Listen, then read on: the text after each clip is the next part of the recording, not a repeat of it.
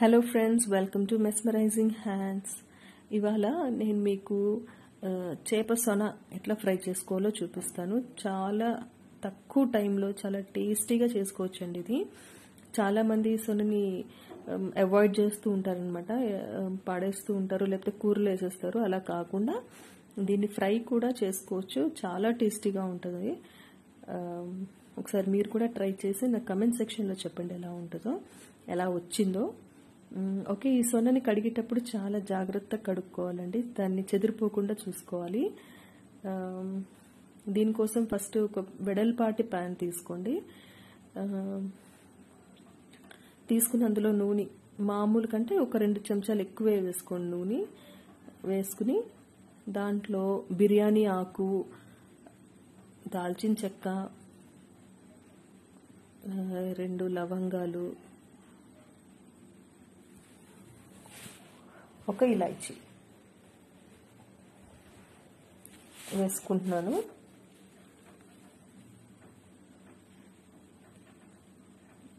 ఇది ఫ్రై అయ్యేలోగా మనం ఏం చేద్దామంటే అల్లం తర్వాత నాలుగు వెల్లుల్లి రెప్పులు కచ్చా పచ్చాగా దంచుకుని వేసేసుకోండి నూనెలో.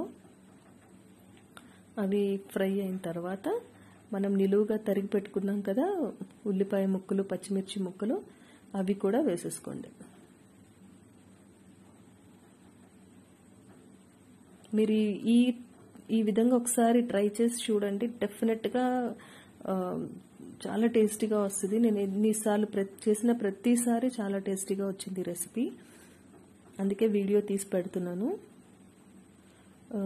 సో ఒక ఐదు పచ్చిమిరపకాయలు వేసుకున్నానండి ఒక పెద్ద సైజు ఉల్లిపాయ అనమాట దీనికి ఉల్లిపాయ ఎక్కువ వేసుకుంటే చాలా బాగుంటుంది. ఎందుకంటే ఇది మనకి బ్రౌన్ అయ్యేంత వరకు వేయించుకుంటాం అనమాట సో అడిషనల్ టేస్ట్ వస్తుంది.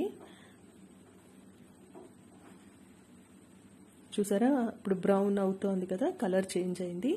ఈ టైంలో నేను పసుపు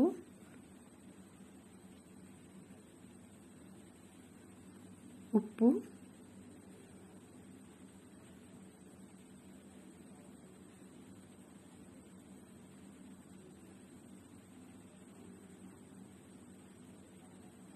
కారం. మనం పచ్చిమిర్చి ఎంత వేసుకున్నామో దాన్ని బట్టి కారం వేసుకోవాలండి. అది తక్కువ వేసుకుంటే ఇది ఎక్కువ వేసుకోండి. అది ఎక్కువ వేసుకుంటే కారం తగ్గించుకోండి. తర్వాత జీరా పౌడర్ కొద్దిగా ధనియాల పౌడర్. అంతేనండి ఇవే ఇంగ్రీడియంట్స్. మనకేం పెద్ద ఐటమ్స్ అవసరం లేదు. ఇంట్లో ఏ ఉంటే అవి వేసుకుని చేసేసుకోవటమే. చూసారు కదా కలర్ ఒకే రెండు రెండు నిమిషాలు ఫ్రై చేయాలండి. ఎందుకంటే కారం కదా నల్లగా అయిపోద్ది కలర్ బాగోదు. సో రెండు నిమిషాలు అటు ఇటు తిప్పేసుకుని మధ్యలో ఇలా గ్యాప్ తీసుకోండి. తీసుకుని ఈ సొన ఉంది కదా అది అక్కడ వేసేసుకున్న మధ్యలో. వేసేసుకుని అనియన్స్ ఇవన్నీ దాని మీద కప్పేసేయాలన్నమాట ఇలా. నేను చూపించినట్టుగా అనియన్స్ తోటి క్లోజ్ చేసేయండి. జాగ్రత్త జాగ్రత్తగా ఫ్లిప్ చేయండి. ఎందుకంటే ఇక్కడ ఇది చెదిరిపోకూడదు. చెదిరిపోయింది అంటే మనకి డిష్ ప్రాపర్గా రాదనమాట. జాగ్రత్తగా ఫ్లిప్ చేసుకుని అనియన్స్ పట్టించండి బాగా. చూసారు కదా? ఇట్లాగా. ఇంకా కదపకూడదండి ఎక్కువ దీన్ని. మనం చేపని ఎలాగైతే కూర వండేటప్పుడు కదపమో సొనను కూడా అట్లాగే కదపకుండా అలాగే మూత పెట్టేసి ఒక్క ఐదు నిమిషాలు ఫ్రై అవ్వనివ్వండి. సిమ్లో. చూసారు కదా? తర్వాత దాన్ని ఫ్లిప్ చేసి అటు ఇటు ఆమ్లెట్ లాగా అవుతుందండి. ఆమ్లెట్ లాగా ఫ్లిప్ చేసిన తర్వాత ఇట్లా చిన్న చిన్న ముక్కలుగా కట్ చేసుకోండి. ఈజీగా కేక్ కట్ అయినట్టు అయిపోద్ది అనమాట కట్ అయిన తర్వాత ఇంకొక రెండు నిమిషాలు ఫ్రై చేసేసుకుని సిమ్లోనే ఫ్రై చేసుకోవాలి. చేసుకున్న తర్వాత నిమ్మకాయ పిండేసి మూత పెట్టేసి స్టవ్ ఆపేయండి.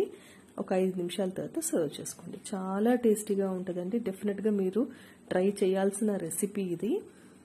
అండ్ నా వీడియోస్ నచ్చినట్టయితే షేర్ చేయండి లైక్ చేయండి అండ్ సబ్స్క్రైబ్ చేయటం మర్చిపోవద్దు. Thank you for watching